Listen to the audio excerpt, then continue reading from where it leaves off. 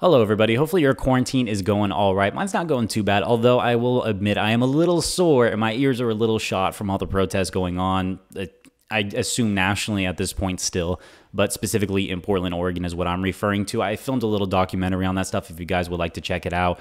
But anyway, I wanted to mix it up a little bit and talk about something different. So, no shit, there I was. I was just scrolling through the news and I was like, okay, what is something that I would be able to talk about? And then I received this type of article that the New York Times had just posted that I think should receive a lot more attention than it does. A little background on myself. A part of the reason why I want to talk about this is not only because it's important, but because I want to get my PhD studying US security policy and extremism specifically. So, when I hear about a story like this, which is about fascism, I'm like, oh, there we go. This is something that I'd be able to talk about and provide a little bit of substance to you know the general community that is listening to me at this moment so before i say anything more i'm going to give you guys what the new york times has to say and then we're going to break it down from there so here's what they said quote Facebook on Thursday removed advertisements posted on its platform by the Trump campaign that prominently featured a symbol used by Nazis to classify political prisoners during World War II, saying the imagery violated company policy.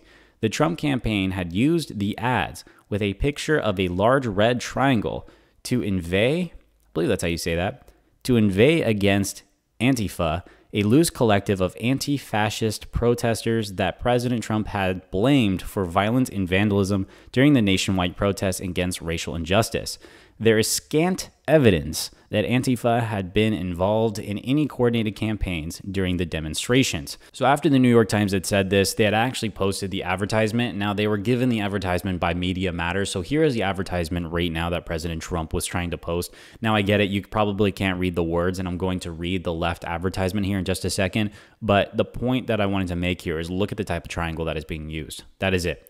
But anyway, here is the exact quote Dangerous mobs of far left groups are running through our streets and causing absolute mayhem. They are destroying our cities and writing. It's absolute madness.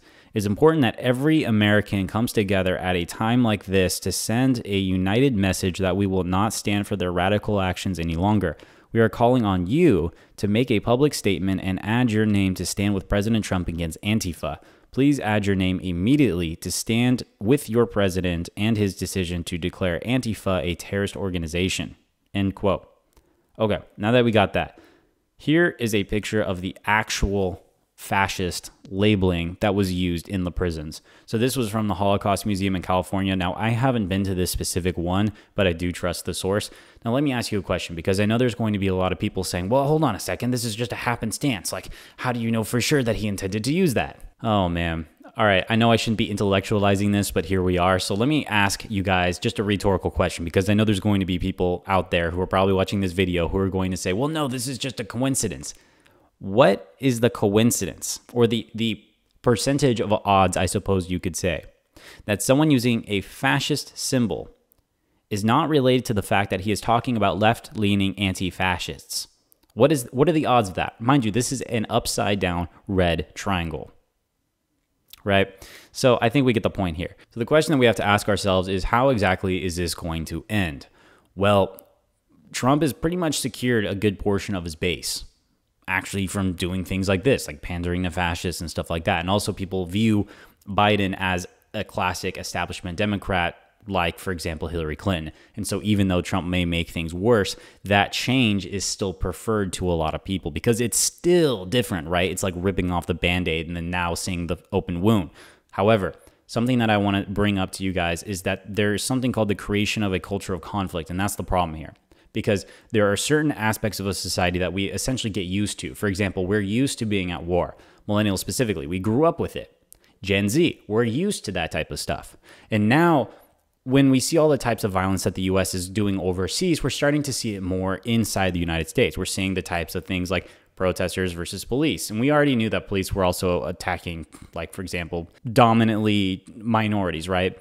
But we're seeing that more and more often right now. And what we're doing is we're creating a culture of conflict. So we're now we're taking the types of efforts that the US is doing overseas, that type of imperialistic mindset, and I don't mean to go like full like Marxist or anything like that. I'm just saying that we're we're taking that industrial complex and now we're directing it inwards and that's huge that's just just problematic so if you're trying to think about who are we going to vote for trump or biden or a third party more than likely it's going to be trump or Biden. If you're wondering who you should vote for, Biden sucks. Obviously, I'm not even going to talk about that because people who follow me know that that is my given position. But we need to take steps, step by step. Right now, we have to get rid of Trump. Because my question to you has there ever been a president to use a Nazi symbol? Yes or no? No. Let's get him out. Let's get him out and let's move forward. Okay? That is my ending comment here. Because the moment a creation of a culture of conflict is started, that is hard to undo. That is it. Thank you.